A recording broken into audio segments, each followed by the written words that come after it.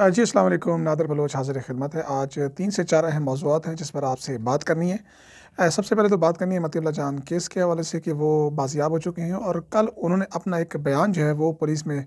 जमा कराया है और उसके बाद आज जो डेवलपमेंट हुई, आज सियासी जमातों के हवाले से अगर बात की जाए तो बिलावल भुट्टो जरदारी वहाँ पर पहुँचे उनके घर पर और उस पर क्या बात हुई वो आपसे शेयर करनी है। और दूसरी अहम बात ये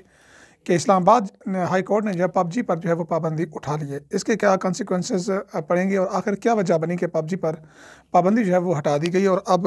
होगा क्या? और तीसरी बात जो आपसे शेयर करनी है वो है जनाब ईरान के हवाले से। ईरान का जो एक मुसाफिर तैयारा था, शाम के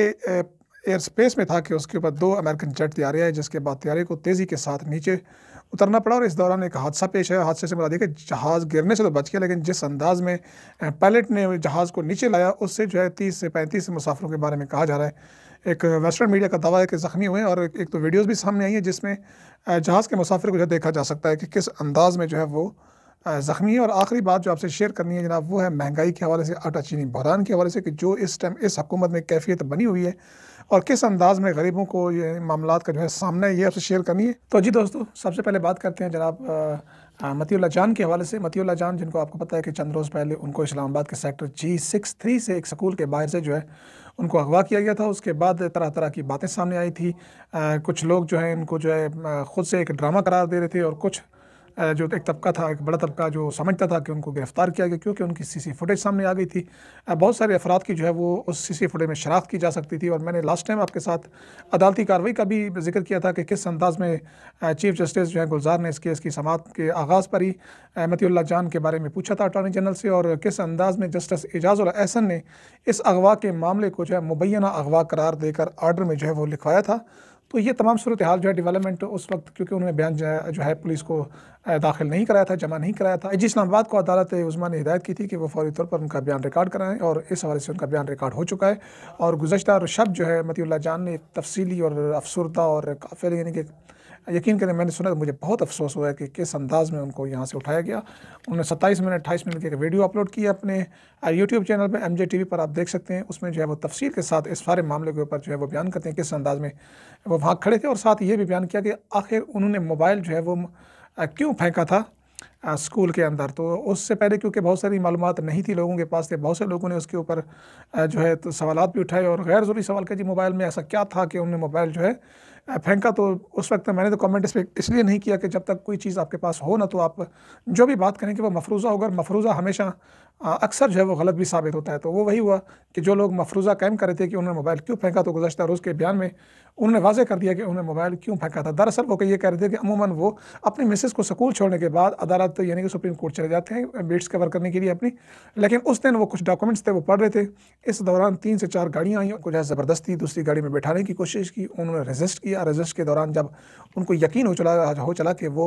नहीं रजिस्ट कर पाएँगे तो उन्होंने अपना मोबाइल क्योंकि उनकी जो मिसेस थी वो कुछ देर पहले ही जब उनको छोड़ा तो वो अंदर स्कूल गई थी तो उन्होंने कोशिश की कि ये मोबाइल उस तरफ़ फेंकेंगे तो कुछ ये हो सकेगा कि उनकी अगर मिसेस मुतवजह होती हैं तो कम अज़ कम अगवाकारों के बारे में वो किसी को रिपोर्ट कर सकेंगी, वरना ये अफ़गानिस्तान या किसी और मुल्क जो है मुंतकिल हो जाएँगे। तो ये खदशा बुनियादी तौर पर उनके पेश नज़र था, जिसकी बुनियाद पर उन्होंने फेंका। और इस फेंकने के नतीजे में ये हुआ कि तीन से चार एहलकार जो ब्लैक यूनिफॉर्म में पुलिस यूनिफॉर्म में थे वो सामने आते हैं। और वो फुटेज में पहचाने भी जाती हैं और इस दौरान वीगो डावला जो है, सफ़ैद, वो बैक होता है, पीछे आता है और उसकी भी शनाख्त हो जाती है और यूँ ये मामला जो है आलमी सतह पर उजागर हुआ और दुनिया में पहली दफ़ा पाकिस्तान के वाले से किसी सहाफ़ी की मिसाल एक प्रेसिडेंट सेट हुआ है कि तमाम सिविल तंजीमें और इंसानी हकूक से ताल्लुक़ रखने वाले अफराद और वो अफराद जो जमहूरियत पसंद हैं और कानून की हुक्मरानी चाहते हैं, उन लोगों ने ट्वीट्स की और तकरीबन एक लाख से जायद अफराद ने इस ट्वीट्स में और इस कंपेन में हिस्सा लिया कि मतीउल्लाह जान को वापस लिया जाए। और इस सारी स्टोरी में उन्होंने बताया कि किस अंदाज में उनको जो है एक टार्चर सेल में रखा गया, किस अंदाज में उनकी आँखों पर पट्टी चढ़ाई की और उसके साथ किस अंदाज में उनको यहाँ से हाथ में हथकड़ियाँ पहना कर ले जाया गया और किस अंदाज में उनको फेंका गया। और यहाँ पर एक एक और बात कि इस हवाले से बहुत सारे मफरूज़े इतने घड़े गए कि जी ये सवाल उठाया जा रहा था कि जब अगर इस्टेब्लिशमेंट थी या इसके पीछे फ़ौज थी या कोई इदारा था तो फिर उन्होंने उसके भाई को कैसे फ़ोन करके बताया कि आपका भाई यहाँ पर है? जबकि इस सारे किस्से कहानी में कोई हकीकत नहीं है। ख़ुद मतीला जान के बयान के मुताबिक उन उनको वो जिस अंदाज में फेंक कर गए वो अ, उनके हाथ में एक पानी की बोतल भी फेंकी कि कहीं ऐसा ना हो कि इसकी डेथ हो जाए या कोई ऐसा मामला हो जाए। तो वो जब उठे तो उनकी आँखों से पट्टी हटी उन्होंने खोली। जिस तरह मोबाइल उनके मुँह पर टेप चढ़ाई हुई थी, वो टेप हटाई तो उनके घुप अंधेरे में कुछ समझ नहीं आ रही थी कि वो कहाँ पर हैं। वो रोशनी की तलाश में सड़क की तरफ़ जिस तरफ़ ट्रैफ़िक चले उस तरफ़ बढ़ते बढ़ते वो एक जगह पर पहुँचे, एक बोर्ड लगा वो भी पड़ा और फिर एक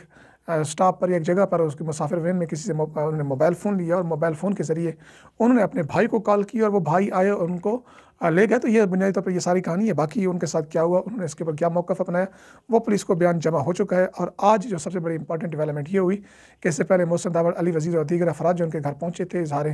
यकजहती किया था और अफराद भी पहुँचे थे। उससे पहले पिछले पिछले दिन जो है तो साफ़ी सारी तंजीमें एक एक यकजा थी उसके मामले पर कि किसी भी सहाफ़ी के अगवा का जो मामला है वो इंतहाई संजीदा मामला है। जिस मुल्क में आइन हो, कानून हो, वहाँ पर इस तरह के अगवा की वारदातें वाक़ एक संजीदा मामला है और दुनिया में जो है अपनी जग हसाई करने के मतराद है। तो खैर, आज बिलावल भुटो जरदारी वहाँ पर पहुँचे, उनका बड़ा शुक्रिया कि वो पहुँचे, अपनी जितनी भी मेन लीडरशिप थी वो भी साथ लेकर गए और मतील्ला जन के घर की तस्वीरें उन अफराद के मुँह पर तमाचाएँ कि जो कहते हैं कि जी सहाफ़ी जो हैं वो लिफाफा लेते हैं और पता नहीं क्या से क्या राह के एजेंट और क्या से क्या बना देते हैं। वो तस्वीरें वाजे करते हैं कि किस अंदाज में वो किस कसम पुरसी के साथ जो वो ज़िंदगी गुजार रही हैं और हमें पता है कि जिस अंदाज में वो एंकर पर्सन थे, उनसे टॉक शो छीना गया, उसकी जॉब गई, उस जॉब जाने के बाद कितने अर्सा वो बेरोज़गार रहा, फिर उसने यूट्यूब चैनल बनाया और किस अंदाज में वो अपनी ज़िंदगी को जो है धक्का दे रहे थे और अब जो है उनकी आवाज़ को बंद करने के लिए जो अंदाज़ अपनाया जा रहा है, उसके ऊपर बहुत सारे सवाल हैं। तो ये खैर बिलावल भुट्टो जरदारी ने बड़े वाजे अंदाज में इस चीज़ की मजम्मत की और कहा कि वो हुकूमत से मुतालबा करते हैं, इसकी तहकीक होनी चाहिए और जो कल्परेट्स हैं उनको सामने लाया जाना चाहिए। उन्होंने ये भी कहा कि इंसानी हकूक़ की जहाँ पर भी बात आएगी पीपल्स पार्टी साथ खड़ी होगी और पीपल्स पार्टी साफ़ियों के साथ है। तो अभी तक मुस्लिम लीग नून की जानब से कोई बंदा अभी तक मती के जान के साथ इसार हमदर्दी या यकजहती करने पेश नहीं हुआ। तो ये एक बात थी जनाब। और अब बात करते हैं जनाब ईरानी त्यारे की। ईरानी त्यारा जो है दमस्कस यानी कि शाम की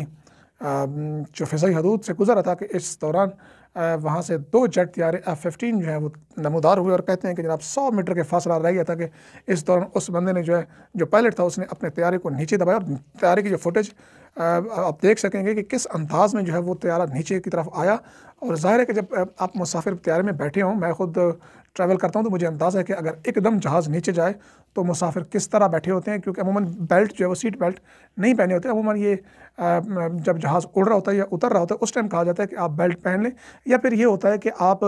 मौसम ख़राब है तो पायलट की तरफ़ से अनाउंसमेंट होती है, तब जाकर जो मुसाफिर होते हैं वो बेल्ट बांधते हैं। लेकिन इस अचानक सिचुएशन में, जिस अंदाज में तैयारा, तेज़ी के साथ जिस जिस स्पीड से नीचे गया उस में जो है तीस से पैंतीस जो मुसाफिर थे वो ज़ख्मी हो गए, उनकी जो हेड इंजरीज देखी जा सकती हैं ब्लीडिंग हो रही है। और ये एक सवाल है इंटरनेशनल कम्युनिटी के ऊपर कि पहले भी अमेरिका ने जो है ईरानी तैयारे को जो है गिराया था और उसमें तकरीबन तीन, साढ़े तीन सौ बंदा जो है वो ये उन्नीस सौ अठासी का मामला है, जुलाई का महीना था। और आज फिर एक जुलाई का महीना और इस अंदाज में ये जो